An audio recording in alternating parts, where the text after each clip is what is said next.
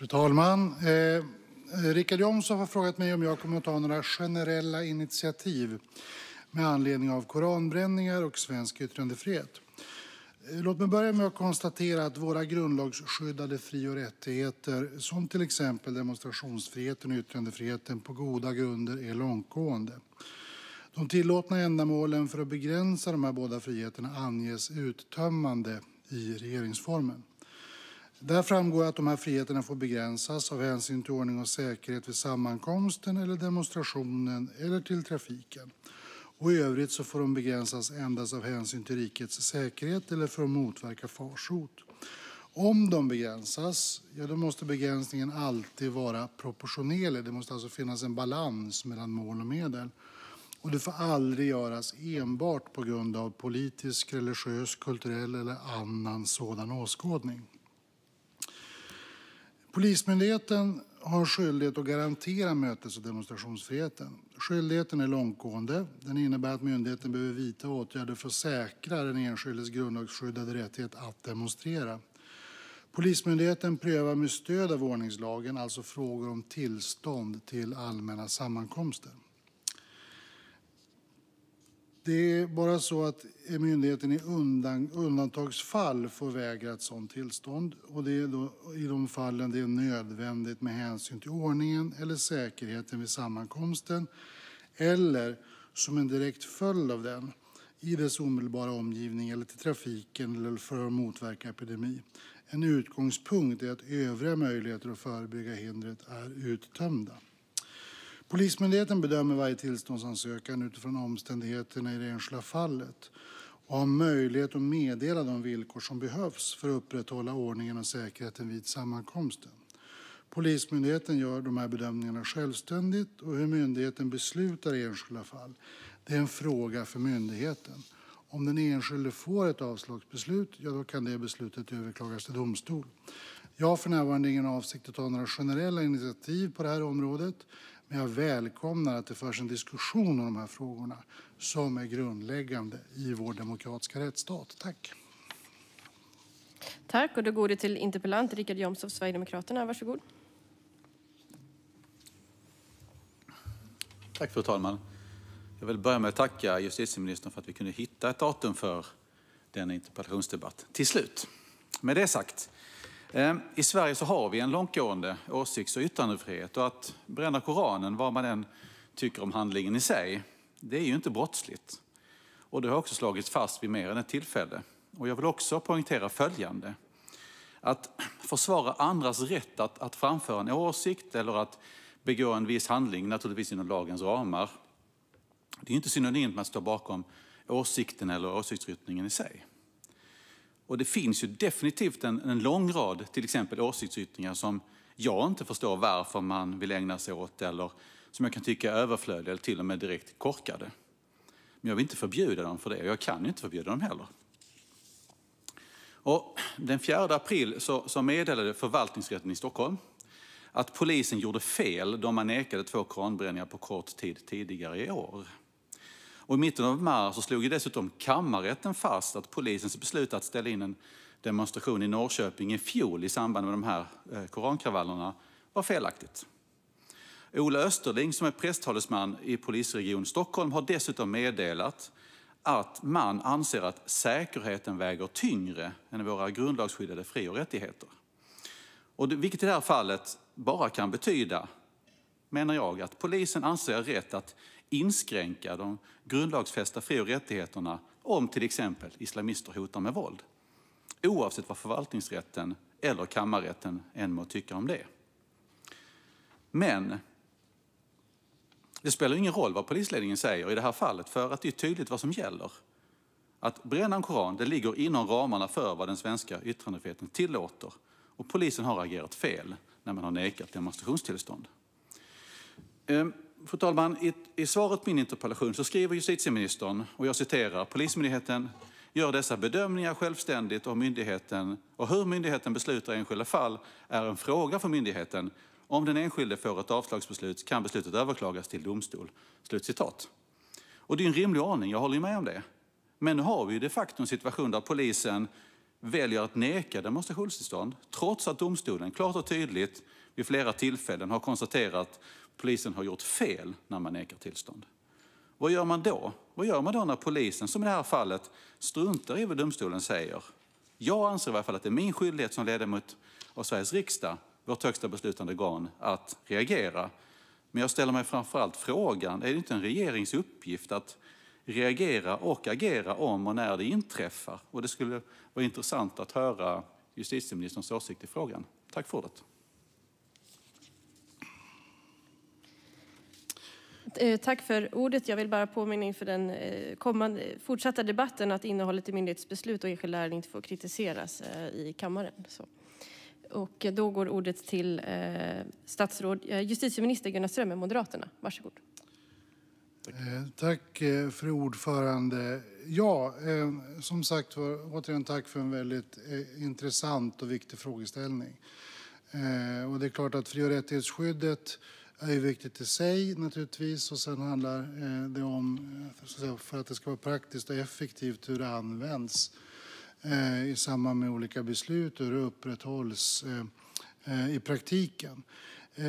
Först så får jag säga att jag har dels inga möjligheter att, att gå in förstås och bedöma hur, hur Polismyndigheten bedömer situationen i enskilda fall. Och jag har heller inte underlag baserat på de, eh, eh, de, de olika fall som Richard Jomshof tar upp att säga någonting värderande om hur polisen generellt sett bedömer sådana här frågor. Jag tycker att vi har en ordning som ändå bygger på att polisen inom ramen för lagstiftningen gör en bedömning i det konkreta fallet och att de här fallen också kan bli föremål för rättslig prövning. Om vi talar om de beslut som har fattats på senare tid så är ju är ju de fortfarande föremål för rättslig prövning och jag vill inte föregripa, eh, föregripa slutsatserna förstås av den rättsliga prövningen. Eh, grundlagsskyddet är ju eh, egentligen vidare eh, eh, eller så här, undantagsmöjligheterna enligt grundlagsbestämmelserna är ju vidare än, än ordningslagens bestämmelser. Rikets säkerhet är ju ett sådant skäl som kan motivera intrång i de här friheterna. Nu pågår ju en prövning om kan man väl säga, snittet mellan den frågan och ordning och säkerhet i sammankomsten. Det ska bli intressant att se hur det faller ut. Den andra sak som jag också vill ta fasta på som Richard Jomshof tar upp och det ligger förstås i försvaret eh, av yttrandefriheten och demonstrationsfriheten att man också så att säga värnar sånt som man i grund och botten inte själv sympatiserar med. Jag tycker att det har varit viktigt också nu när det har varit en diskussion om koranbränningar att också kunna visa en erkänsla för människor som blir djupt kränkta över det som är det allra heligaste för dem eh, också blir föremål för den här behandlingen i offentligheten. Eh, jag känner många människor som skulle uppleva det på motsvarande sätt om en bibel eldades upp på torget i Örnsköldsvik eller liknande. Och den empatin uppfattar jag, den förståelsen, den respekten tycker jag också man ska kunna uttrycka som, som politiker. Det vet jag att statsminister Ulf Kristersson har gjort och jag, eh, jag har full förståelse och stor respekt för det. Eh, andra saker kan också vara sanna samtidigt och det är ju att vi vet att de här koranbränningarna i kombination med den desinformationskampanj som har riktats mot svensk socialtjänst, alltså påståendet om att svenska staten så att säga skulle kidnappa muslimska barn, att det de facto har varit väldigt drivande när det gäller säkerhetssituationen i Sverige. Eh, eh vi ligger strategiskt, som det heter, fortfarande kvar på det förhöjda terrorhotet, trean på den femgradiga skalan. Eh, men vi vet att eh, Eh, eh, Säkerhetspolisen och andra relevanta myndigheter har kan man säga, kalibrerat den bedömningen så att vi har gått från att vara ett legitimt mål till att vara ett prioriterat mål eh, för, för terrorhot. Det har också skett ett antal gripanden både i Sverige och utomlands eh, som kan misstänkas ha samband med ett sådant förhöjt hot. Så ser hela bilden ut. Jag tycker det är utomordentligt viktigt att vi Diskutera alla aspekter av detta.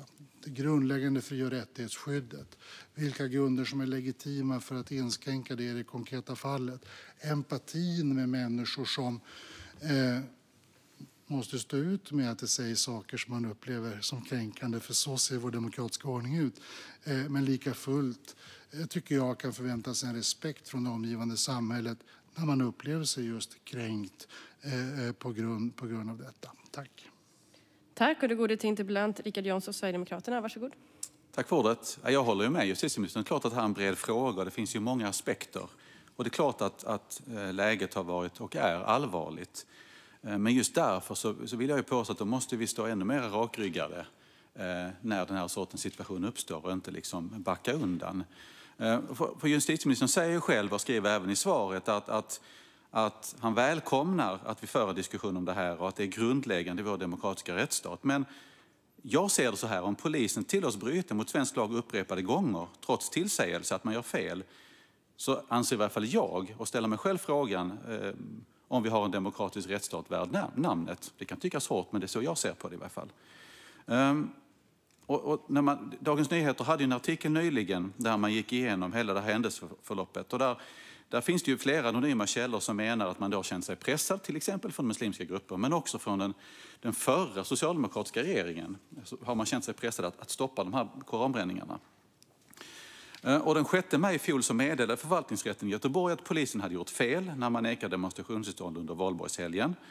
Och I domen skriver förvaltningsrätten, och det här är viktigt, att polisen endast får begränsa sammankomster om det är arrangören som stör ordningen. Och vad vi än tycker om Paludan som person och det han gör, så var det inte han som kastade sten eller eldade polisbilar eller försökte döda poliser.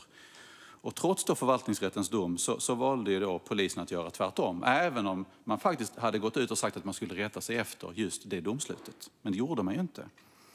Ehm, det finns alltså sammanlagt nu tio domar i fem olika förvaltningsrätter där det har då slagits fast att polisen har gjort fel. Det är ändå ganska många. Och då, då, det är framförallt under våren och sommaren 2022 det handlar om, alltså under koranbränningarna och eftermälet till dem så att säga. Men det är ju inte slut där. Den 8 februari i år så meddelade polisen att man totalförbjuder den här sortens aktiviteter och demonstration. Även om det inte finns någon som helst stöd för det här, eh, till exempel i ordningslagen.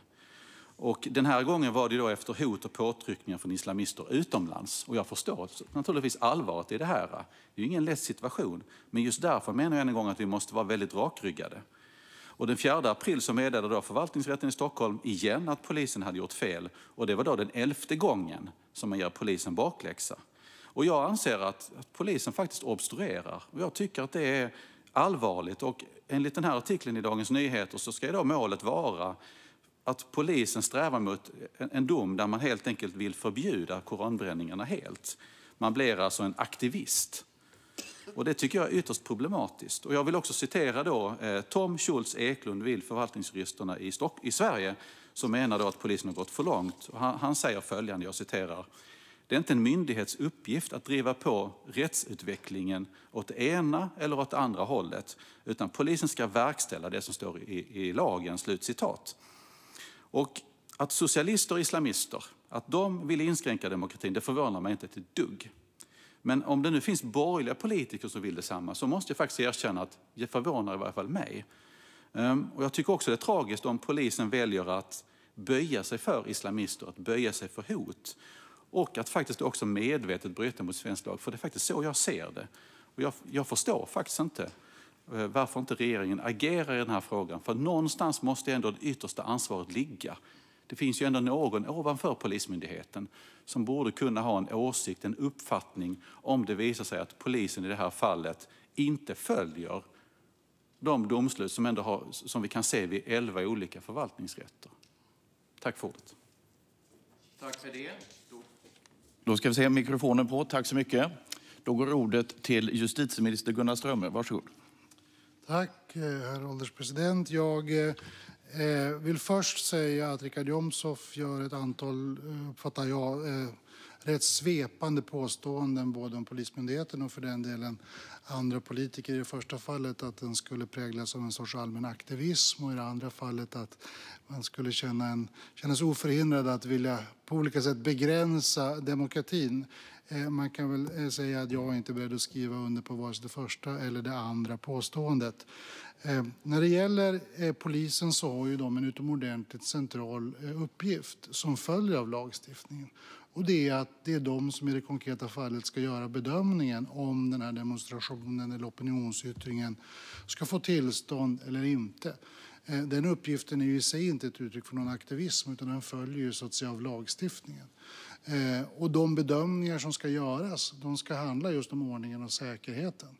Ehm, och det är väl, eh, uppfattar jag, en en rätt viktig sak att i vart och ett av de fall som Richard Jomshof refererar till så handlar det förstås om unika omständigheter i det konkreta fallet och en ganska momentan bedömning som handlar om möjligheten att upprätthålla ordningen och säkerheten vid en specifik sammankomst vid en specifik tidpunkt eh, och under de eh, ska vi säga, omständigheter som råder där och då. Och jag har inte underlag för att dra några generella eller svepande slutsatser om detta utan jag känner en mycket stor tillit till en ordning som bygger på att poliser lokalt fattar sina beslut och i den mån någon har invändningar mot det som berörs av detta så går det alltså att överklaga de besluten och det görs och då ska domstolarna göra sitt jobb. Och det eh, uppfattar jag också att domstolarna, eh, domstolarna gör. Ehm, när det gäller säkerhetsfrågorna så är det naturligtvis så att, eh, att, att, att säga att man böjer sig för utländska islamister, eh, i vad mån eh, de här fallen på senare tid har bedömts i ljuset av de risker som har funnits i samband med, eh, med en konkret demonstration eller manifestation eh, och exakt vilka omständigheter eller vilka hotbilder som har legat till grund för den bedömningen, det kan jag kort sagt inte ha en uppfattning om, utan det är Polismyndigheten som ska ha det och de frågorna får sedan närmare granskas i laga ordning och det är i våra domstolar. Jag tror å ena sidan att det ibland finns en för stor ängslighet när det gäller regeringars möjlighet att, så att säga, styra myndigheter. En, en, en, en regering har stora möjligheter, konstitutionellt grundade och skyddade möjligheter när det gäller att leda, eh, eh styra verksamheten i myndigheter. Vi har regleringsbrev, vi har ekonomiska styrmedel, vi har myndighetsdialog. Eh, vi har möjlighet att utföra särskilda regeringsuppdrag. Det finns en ofta mycket vidare ram eh, än vad, och många olika verktyg än vad som ibland kan så att säga, framkomma i den allmänna debatten. Men det finns en gräns eh, som är väldigt tydlig och det är att se till att hålla en ordentligt, ett ordentligt avstånd till de bedömningar som våra myndigheter gör i enskilda fall. Eh, det menar jag konstitutionellt sett eh, skulle vara, eh, skulle vara otillständigt att ett justitiedepartement eller en justitieminister så att säga, klev in nära de bedömningar som görs om konkreta fallen i Polismyndigheten eller i någon annan myndighet. Eh, och det är jag kort sagt inte beredd att göra. Jag menar att det finns en mycket legitim ordning här. Polismyndigheten fattar beslut om de konkreta fallen. Det kan rättsligt prövas av domstolar. Sen kan man analysera utfallet av domar i olika i, i, olika mål och fråga sig om det finns några lagstiftningsförändringar som måste göras i ljuset av de domarna. Det är den legitima ordningen. Den vill jag hålla mig till. Lika fullt så välkomnar jag debatten. Tack så mycket för det. Då går ordet interpellanten Richard Jomshof, Sverigedemokraterna. Varsågod. Tack, herr talman. Det var nästan så jag missade det här bytet som, som just nu skedde. Så, tack för ordet. Eh, om man tittar på de olika skälen polisen har, har uppgett för varför man då vill ha velat neka tillstånd så har, så har det först varit ordningsstörningar och där har man då fått bakläxa. Och sen så sa man att det var resursbrist och där fick man bakläxa. Sen sa man att det var tidsbrist och där fick man också bakläxa.